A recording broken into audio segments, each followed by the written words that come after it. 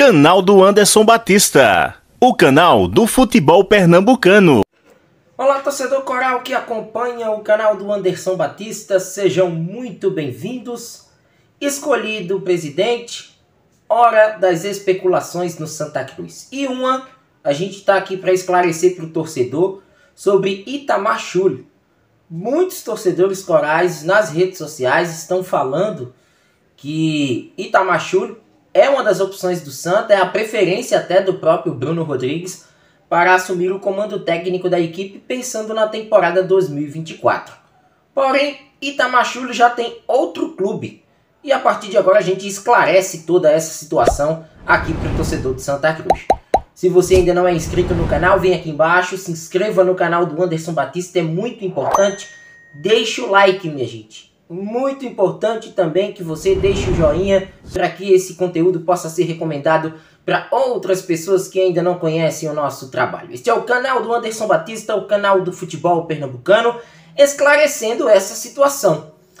Itamachul, ele assinou um pré-contrato com a equipe do Azures em outubro deste ano.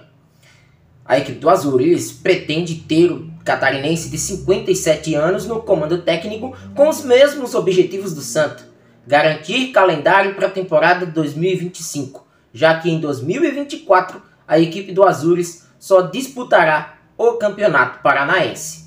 Então surgiu essa informação né, de que havia a pretensão por parte de Bruno Rodrigues da contratação de Itamachule. Até então, havia-se uma assinatura de pré-contrato com Itamachur. Só que nos últimos dias a gente viu que o acordo acabou sendo selado. Itamachur será técnico do Azures para a disputa do Estadual do Paraná no ano que vem. E até para que a gente possa comprovar né, do que estamos falando, a gente coloca aqui para o torcedor um áudio, né, nem é um áudio, foi mesmo um vídeo feito pelo próprio Itamachur Após a assinatura contratual nos últimos dias, aconteceu nesta última semana, ele esclarecendo toda a situação e que deve mesmo ser o técnico do Azures para a temporada 2024. Boa noite a todos os torcedores do Azures. É muita satisfação que eu venho aqui agradecer ao convite do presidente Robson, do, do seu irmão, né? De poder vestir a camisa do Azures é, no Campeonato Paranaense 2024.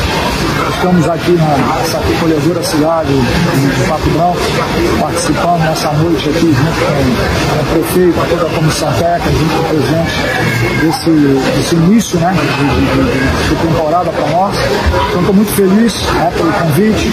Quero deixar aqui meu abraço a todos os torcedores e também convidá-los a todos a vir nos treinamentos, né, nós vamos estar aqui treinando e vamos estar sempre à disposição de vocês para que vocês venham acompanhar os treinamentos, que vocês venham interagir conosco e convidar vocês para estar no estádio também, né, lotando o nosso estádio aqui, para que a gente possa ter uma cada vez mais azuis fortes né, no Campeonato Paranaense, buscando os objetivos que nós temos bem claros, traçados né, para próximo ano. Né?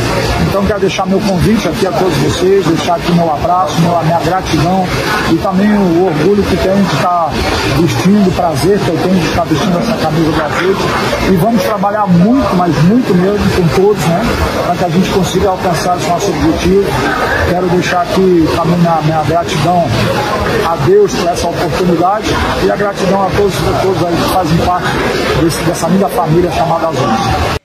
Então tá aí as palavras do Itamachule, esclarecendo toda essa situação. É um técnico que passou pelo Santa Cruz em 2020, né, passou 10 meses no comando da equipe coral naquela ocasião, foi vice-campeão pernambucano, Santa Cruz que em 2020 conseguiu chegar aí a um patamar interessante na Série C do Campeonato Brasileiro naquele recorte, não conseguiu o acesso por pouco, né, e agora ele deve sim seguir para a equipe paranaense. Né? Um treinador que inclusive agradeceu o contato né, da diretoria coral mas, e ficou né, lisonjeado né, por ter sido lembrado pelo Santa Cruz. Né, o Robson Ramos, que é o atual presidente da equipe do Azures, também falou da situação, né, destacando que tá tudo certo entre o técnico e a equipe paranaense para a próxima temporada e que né, deseja, almeja, quem sabe, garantir calendário. Né, foram palavras proferidas pelo atual mandatário da equipe lá do sul do país. Então esqueçam essa história de Itamachule, né, pelo menos por enquanto. Né, o Santa não vai ter calendário para o restante do ano. Né, é o que o calendário da própria CBF indica. Santa Cruz fora da disputa da Série D, né, não vai ter campeonato brasileiro neste ano para disputar. E com isso né, a contratação de um técnico que venha para comandar a equipe até o mês de abril.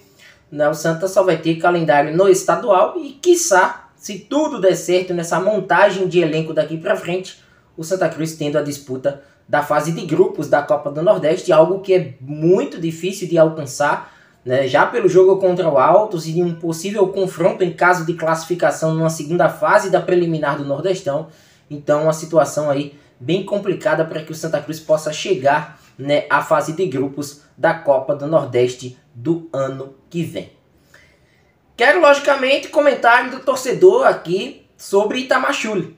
Ele fez o certo, seguiu para a equipe do Azures ou tinha mesmo ficado no pré-contrato para quem sabe retornar ao tricolor depois de praticamente 4 anos?